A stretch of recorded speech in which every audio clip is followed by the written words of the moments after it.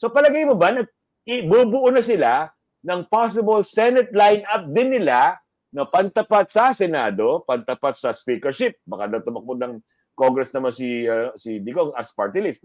Sa tingin mo, nagbubuo ba sila ng kanilang slate, no?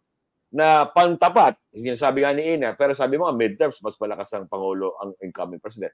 Nagbubuo sila ng kanilang Senate slate para tapatan o para lakasan ang Senado dahil sa Senado nagsisimula uh, o magiging impeachment sa sinasabi nating uh, Senate uh, ano to impeachment committee o ano Sigurado uh, ko 'yan, Michael. Sigurado uh, ko. Sigurado, mm-hmm. sigurado ko dahil meron silang uh, dalawa na re-election, tatlong re-electionist. Mm-hmm. Diba?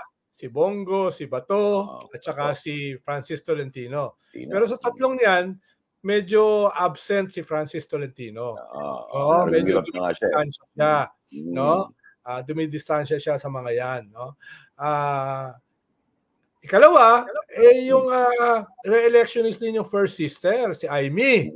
Yeah, no? oh. Eh malamang hindi yung tumakbo dun sa slate ng kanyang kapatid. Ng malamang na malamang na yan. So, oh. Malamang uh, dyan siya tatakbo.